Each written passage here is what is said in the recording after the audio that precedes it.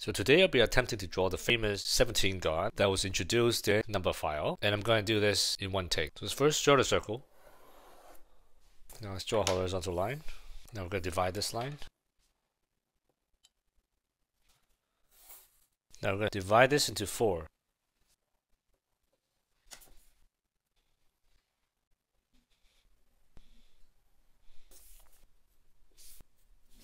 Now we're going to draw a line from this point through this point. We're going to draw a semicircle with radius from here to here. Now we're going to connect this to this and this to this. Then we're going to find the midpoint.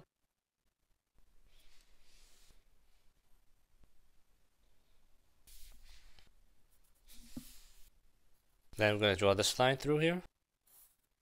And this. Then we're going to draw a line from here to here and a line from here to here. Uh, divide them. Then draw a line from here to here. Then we have two points.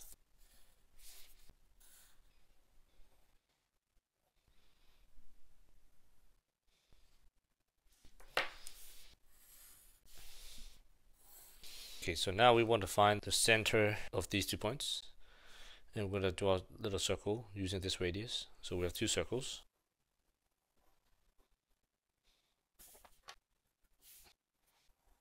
Okay, so we have this contact point. At this point. We're going to draw a line. This line will be the radius for the semicircle.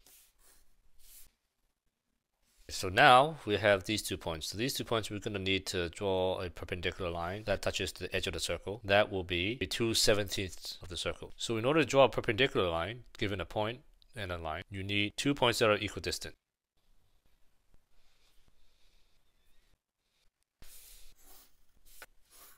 So let's connect these two and divide them. So now this point and this point and this point and this point, they are 1 17th of the circle. So all we need to do is just complete the other points.